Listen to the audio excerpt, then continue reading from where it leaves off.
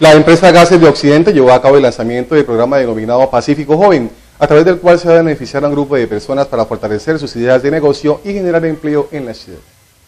Son 120 jóvenes de las comunas 3, 4, 5 y 7 de esta ciudad los que se beneficiarán con el programa Pacífico Joven, una iniciativa creada por organizaciones juveniles del puerto y apoyadas por la Fundación Gases de Occidente y también la cooperación suiza SWISAID, donde lo que se pretende es fortalecer las iniciativas para el desarrollo socioeconómico individual y colectivo de dicha población en el puerto. Hoy se desarrolló el lanzamiento del programa. Los jóvenes dieron a conocer sus expectativas y proyectos a desarrollar durante los tres años del proceso que fortalecerá sus habilidades. Llegamos a articular eh, con Fundación Gases de Occidente a través de la Fundación Suisei y es un triángulo que hacemos precisamente para eh, afectar los niveles de conciencia de la población joven, tanto hombres y mujeres aquí en la ciudad de Buenaventura. Lo importante de este proceso es que además de fortalecer sus capacidades, los jóvenes podrán crear sus propios negocios para que así tengan una forma de generar recursos personales y colectivos. Eh, inicialmente la propuesta está planteada para 120, pero como se ha planteado en eh, en las distintas presentaciones eh, van más de 150 jóvenes que están vinculados en la iniciativa, además de las otras